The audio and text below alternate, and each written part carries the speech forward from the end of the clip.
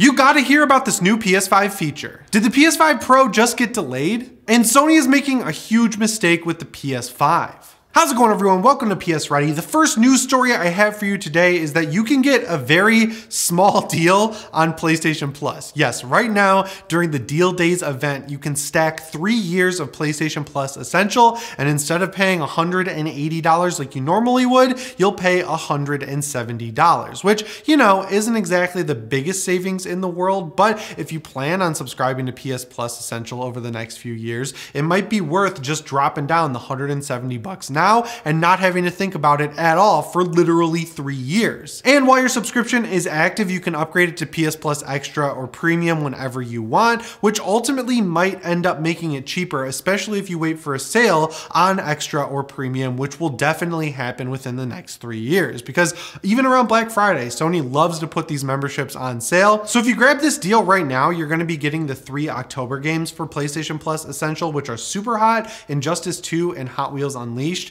I'm more mixed on Injustice 2 and Hot Wheels Unleashed, not because they're bad games, they're both actually really good games, but it's the same problem we had last year when they gave us Mortal Kombat X and it didn't come along with any of the DLC. Like Injustice 2 has been out for a long time now. There's an Ultimate Edition that includes all of the extra characters and skins and all that stuff. Why wouldn't Sony just pay the extra money to make that the free version? Because you can go to GameStop right now and probably get a copy of Injustice 2 on PS4 for like 10 bucks. So yeah, not the greatest inclusion. And the same thing goes for Hot Wheels Unleashed. That game came out and had a pretty good package at launch, but since it released, they've put out so much DLC, like packs and packs and packs of new cars, and people are just kind of getting fed up with it. So it would have been nice to see some of that extra DLC included there as well. But then finally with Superhot, that's just a great game top to bottom. And I think the VR one is considered to be a little bit better, but you could have a lot of fun over a week weekend just grinding your way through it because it's one of the cooler shooters out there. So yeah, it's 170 bucks for three years of PlayStation Plus. If you guys aren't feeling that price, maybe wait until the end of November because during Black Friday week leading up till Christmas and the other holidays,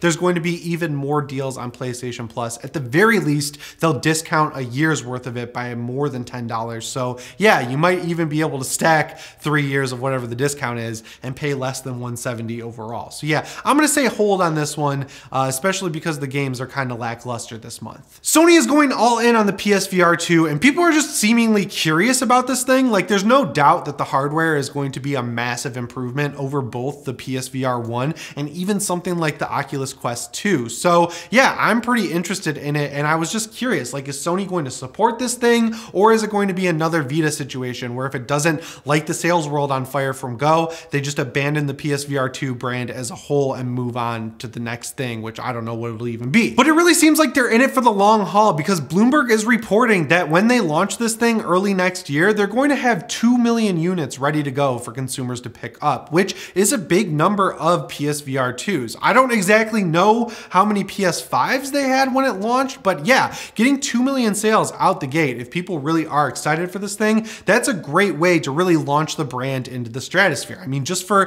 comparison's sake, the Steam Deck literally just hit 1 million unit sales and yeah, it's a great milestone for them because they're able to ship it right away right now if you order it alongside their new dock. But when you compare that to having 2 million units ready to go at launch for the PSVR 2, you can see that Sony really wants this thing to be big. And honestly, with the games that we've recently seen that are coming to this thing close to launch, I could see it catching on in a pretty big way.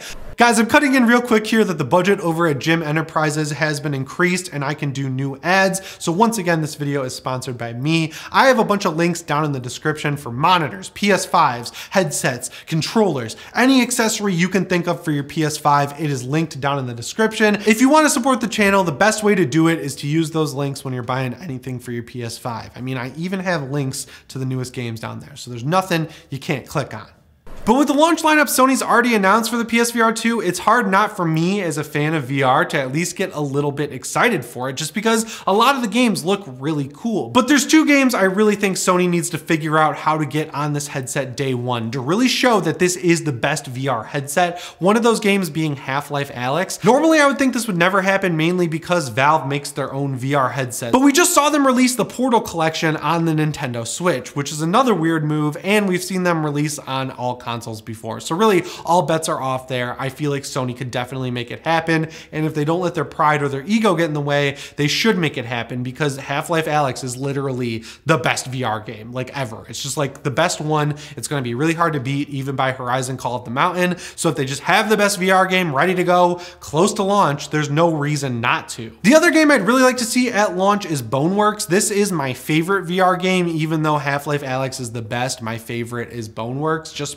because you can literally do anything you want in this game and it has it all. This was actually pitched to Valve to become a Half-Life game, but they were literally like, uh, we're working on a Half-Life VR game right now, so unfortunately we're gonna pass on this one, but they released it as their own game and it is just so good. But the reason I feel like Sony needs to go out and get this one is that this is like the VR game to get anyone over VR sickness because it throws anything at you and everything at you. Like you'll be doing flips, you'll be flying through the air, you'll be shot at, you'll have stuff thrown at you, you'll be throwing stuff, you'll be lifting different weighted objects. Like anything you can do in VR, you can do in this game. So that's why I think it would be a great game to have at launch for PSVR 2. So at this point, I'm sure you've heard that Horizon Zero Dawn is probably getting a remake like The Last of Us did for the PS5 generation. And people are rightfully so in some cases, and in my opinion, not rightfully so in others up in arms about this. The people who are are upset about it are saying, why is Sony remastering games that still look and run super well on the PlayStation 5, like Horizon Zero Dawn,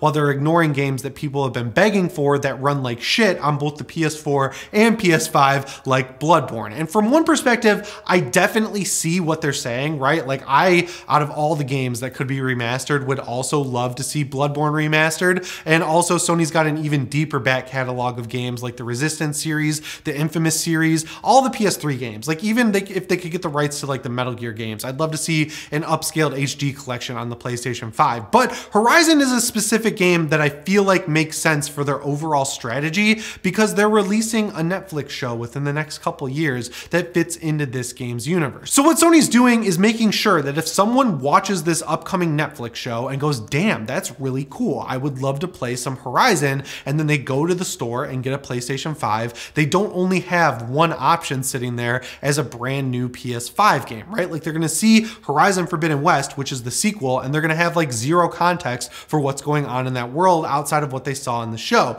Whereas if they have a nice shiny PS5 box sitting there with Horizon Forbidden West, maybe even a two pack of both games, then they can jump into the universe and play it from start to finish. And the trap I always fall into is that, yeah, it's available on PS4. It's been given away for free. They could just do a patch or something like that. But most people, the people that they're trying to attract with these Netflix shows and things like that are not us. They're not the hardcore gamers. They're the casual person who's maybe only heard of Horizon, doesn't really know what it is, but does have a PlayStation 5 and they might be willing to take a risk on buying something other than Call of Duty or Madden or NBA 2K. And so Sony wants to make it as easy and as clear as possible to that person that they're getting getting a PS5 game that will work in their PS5. It seems crazy, but there are definitely a lot of people out there who are going to buy a PS5 and they are just never gonna know that they can put any PS4 game they want into that PS5. There's just plenty of opportunity for both to happen. What I would personally like to see is Sony make some new games for the PS5 instead of just porting over PS4 games and remaking PS4 games. You know, wouldn't that be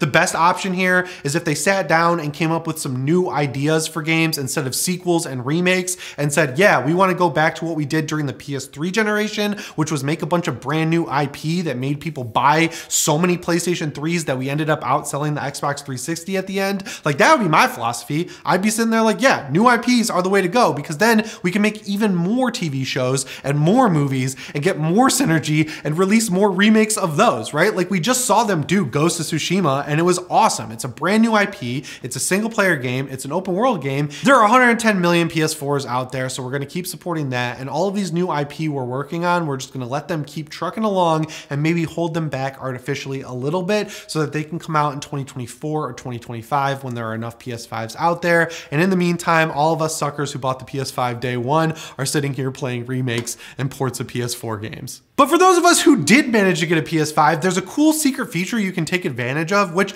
I guess you've been able to do for a while now, but it's just making the news rounds right now, which is how I found out about it, and it's actually quite useful. So we all know the way to use the web browser on the PS5 is to make a dummy Twitter account and tweet any link you want to visit, and then go to the Twitter login on your PlayStation, log into that Twitter, and then click the little Twitter icon in the top left, which will take you to the timeline, and then you can click all the links on the feed. If you didn't know, that's how you use use the web browser on the PS5. But there's another cool thing you can do to watch YouTube videos in the sidebar while you're playing these endless games like Destiny 2 or Call of Duty or Warzone or anything like that where it's an online live service game. All you have to do is send yourself a link to the YouTube video you would like to watch in a PlayStation party chat. And then once you're in there, you can click on that and pin it to the sidebar of your screen so that it'll make a window that's like most of your screen for the game you're playing and then a little like iPhone sized window for for the YouTube video you want to watch. And the cool thing is this allegedly works with Netflix. At that point though, like why not just make it a feature, Sony? Like you already have it baked in. Why not let me log into the YouTube app and have it playing in the top right corner like I can do on my iPhone? Same thing goes for Netflix. That would be a really cool upgrade in the next PS5 update. And since the PS5 can literally do that right now, there's no reason not to make it an official feature. And the last news story I have for you today is probably gonna make you feel a little better about buying a PS5 at launch.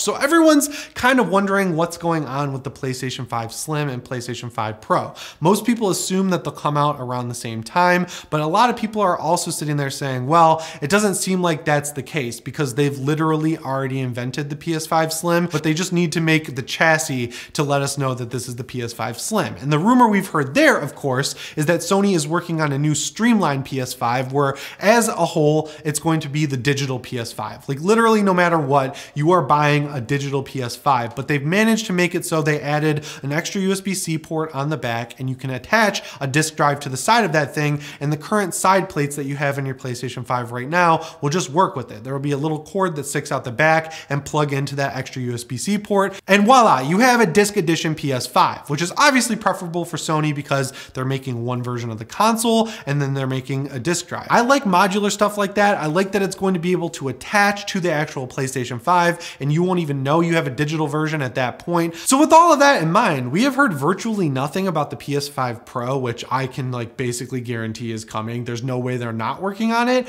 But in my opinion, I feel like they're going to re-release the PS5. Like it's going to have a re-release party sort of thing next year. And that's going to be the actual launch of the console. They're going to get this streamlined version out there that's a slim version and then then you can get the detachable disk drive. Then they'll start opening the floodgates on getting these games out there because obviously the supply chain issues are clearing up. Like Valve went from being six months out on ordering a Steam Deck to you can just order one right now and be able to get it. And I don't know if you ever looked at what Valve's going on there, but they just tweeted out a trailer for the Steam Deck that had a Nintendo Switch emulator on the home screen. So if they can figure out how to fix their supply chain issues, there's no reason Sony can't figure it out on their end when they're literally opening up new factories to make new chips for the PlayStation 5. So as for when we'll see the PS5 Pro and feel totally fine spending another $500 plus on that console, I'm thinking 2024 or even as late as 2025, right? Like these generations are going to keep getting longer and longer because the advancements we're seeing between consoles